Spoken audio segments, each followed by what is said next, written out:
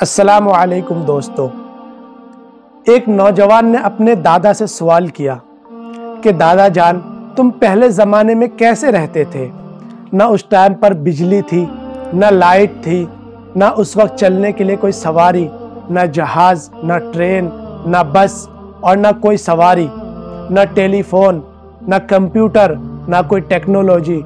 यहाँ तक कि मोबाइल फ़ोन भी नहीं था। तो आप लोग कैसे ज़िंदगी गुजारते थे? तो उस दादा जान ने जवाब दिया, एक नसीहत भरा जवाब जिससे हमें नसीहत हासिल करनी चाहिए।